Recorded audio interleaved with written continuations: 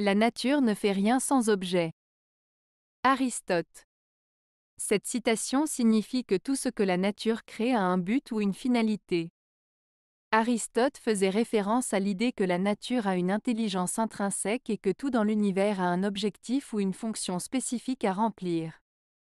Par exemple, les arbres produisent de l'oxygène, les abeilles pollinisent les plantes, etc.